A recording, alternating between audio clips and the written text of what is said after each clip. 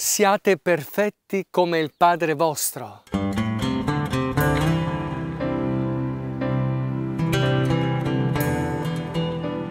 Cristo è risorto! Buona giornata cari amici! In questo nuovo giorno benediciamo il Signore che fa scendere la sua parola nella nostra vita. Leggiamo insieme il Vangelo secondo Matteo, capitolo 5, 43-48. In quel tempo Gesù disse ai suoi discepoli, Avete inteso che fu detto, amerai il tuo prossimo e odierai il tuo nemico. Ma io vi dico, amate i vostri nemici e pregate per quelli che vi perseguitano, affinché siate figli del Padre vostro che è nei cieli. Egli fa sorgere il suo sole sui cattivi e sui buoni e fa piovere sui giusti e sugli ingiusti. Infatti, se amate quelli che vi amano, quale ricompensa ne avete?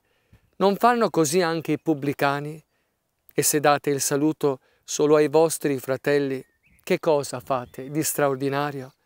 Non fanno così anche i pagani? Voi dunque siate perfetti come è perfetto il Padre vostro celeste. Amen. Carissimi amici, oggi vi dono anche la prima lettura dal Deuteronomio, capitolo 26, 16-19. Mosè parlò al popolo e disse, Oggi il Signore tuo Dio ti comanda di mettere in pratica queste leggi e queste norme. Osservale e mettile in pratica con tutto il cuore e con tutta l'anima. Tu hai sentito oggi il Signore dichiarare che Egli sarà Dio per te, ma solo se tu camminerai per le sue vie e osserverai le sue leggi, i suoi comandi, le sue norme e ascolterai la sua voce. Il Signore ti ha fatto dichiarare oggi che tu sarai il suo popolo particolare, come Egli ti ha detto, ma solo se osserverai tutti i suoi comandi. Egli ti metterà per gloria, rinomanza e splendore sopra tutte le nazioni che ha fatto e tu sarai un popolo consacrato al Signore, tuo Dio, come Egli ha promesso. Amen. Carissimi Oggi il Signore ci chiama attraverso il Vangelo, il libro del Deuteronomio nell'Antico Testamento, nella Bibbia, a camminare e ad imitare il Padre Celeste, il nostro Padre. Giorno dopo giorno stiamo ascoltando un Gesù Maestro che insegna a noi che siamo suoi discepoli, suoi allievi, questa scuola, la scuola della fede cristiana. E la scuola del cristianesimo è una scuola di agape, è una scuola di amore, una scuola di condivisione, una scuola di preghiera, una scuola di comunione. Gesù anche oggi riprende il tema che stiamo vivendo sia a livello sociale europeo, quello della guerra, quindi quello dell'amarsi, del perdono e della pace, e dall'altro aspetto Gesù ci sta indicando la via, la soluzione. Oggi ha proprio detto queste parole che sempre quando le ascoltiamo entrano in un modo davvero diretto al nostro cuore, diretto verso i nostri sentimenti, quando ci dice amate i vostri nemici, quando Gesù ci dice pregate per quelli che vi perseguitano. Vi voglio raccontare una brevissima testimonianza che mi è accaduta come parroco qualche tempo fa sono andato a fare una messa in una delle mie parrocchie e parlando con un parrocchiano c'è stato il tema del perdono, dell'amare, preso anche dall'omelia che avevo fatto. E questo parrocchiano mi ha detto, eh padre Luca, però con mia moglie eh, i vicini amare, tutto questo amore, non è facile per noi cristiani, anzi. E io ho detto, sì, ma guarda che Gesù, che è il volto del Padre, lui ci ha dimostrato come fare. È morto sulla croce per noi, ha dato la vita per noi. E lui mi dice, sì padre, però lui era Dio eh, e io sono un uomo.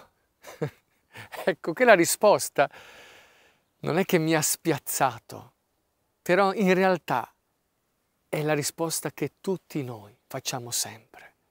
Dio ci ha chiesto di amare, di perdonare, ci ha dato l'esempio e noi spesso ci giustifichiamo dicendo sì, tu ci hai amato, tu sei morto per noi sulla croce, ma eri Dio, eri forte.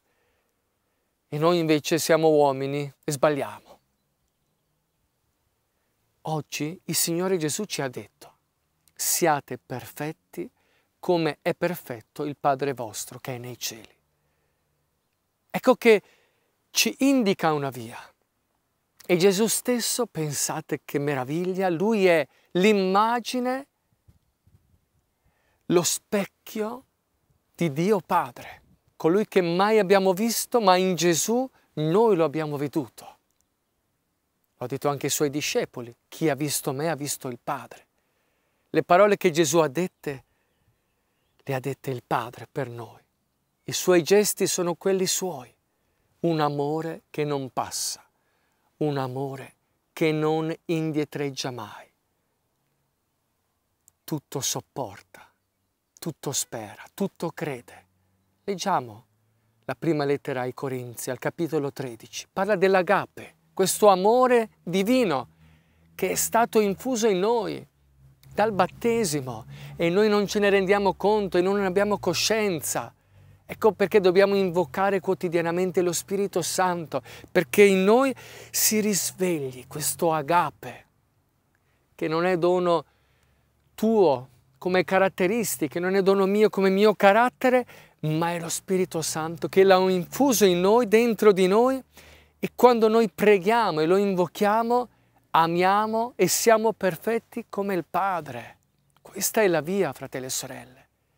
Quante volte ho sentito dire, quante volte ho parlato con le persone, con le famiglie, con gli amici, con persone che avevano difficoltà di amare, di accogliere e sempre si dice eh, io arrivo fino a questo punto io già ho perdonato, già ho fatto dei passi, basta, basta, non ce la faccio più. Non sono un santo, questa è sempre la solita frase che esce, ma in realtà nessuno è santo, Dio è santo, è lo Spirito che è stato infuso in noi. Amen. Quindi la buona notizia è che se da soli non ce la facciamo, con lo Spirito Santo tutto possiamo. Soprattutto possiamo amare, possiamo perdonare benedire chi ci fa del male. Ecco perché il Deuteronomio ci ha spinto a osservare con tutto il cuore, con tutta l'anima i suoi comandamenti, ascoltare la voce di Dio e oggi questa è la voce. Invocami e io ti risponderò. Invoca lo Spirito Santo e avrai il cuore di Dio, un cuore perfetto perché ama non con il tuo amore, con i tuoi affetti, ma ami con il cuore di Dio. E allora vi invito adesso a pregare e invocare insieme lo Spirito Santo. Vieni Spirito Santo oggi nella nostra vita. Noi abbiamo bisogno di te. Riconosciamo che da soli siamo incapaci di amare autenticamente, incapaci di perdonare, di agire bene. Poniamo di fronte a te, oh Signore, le nostre resistenze, le nostre difficoltà, i nostri dubbi, la nostra sclerocardia, questo cuore indurito incapace di compiere il primo passo, fare dei gesti. Spirito Santo, vieni, sciogli il nostro cuore indurito. Vieni Spirito Santo, noi ti invochiamo oggi. Vogliamo essere perfetti come il Padre. E crediamo che se Gesù ce lo ha detto, allora è possibile. Io voglio vivere da cristiano che ama, che ama senza riserve, senza limiti. Donami oggi di mettere in pratica la tua parola. A te Gesù sia sempre l'onore e la gloria per tutti i secoli dei secoli. Amen. Cari amici, ecco lo slogan che dobbiamo fissare oggi nella nostra giornata. Siate perfetti come il Padre vostro. Ecco la via, la via dell'invocazione allo Spirito Santo per amare come il Padre, essere perfetti come Lui. Questo è possibile per chi prega e per chi crede in Gesù Cristo. Grazie che mi avete accolto, un caro saluto e un abbraccio da parte mia e della Coinonia Giovanni Battista Oasi di Piella. Ci vediamo domani. Ciao! Il Signore è mia luce e mia salvezza. Il Signore è mia luce e mia salvezza. Il Signore è mia luce e mia salvezza. Di chi avrò timore? Il Signore è difesa della mia vita. Di chi avrò paura? Il Signore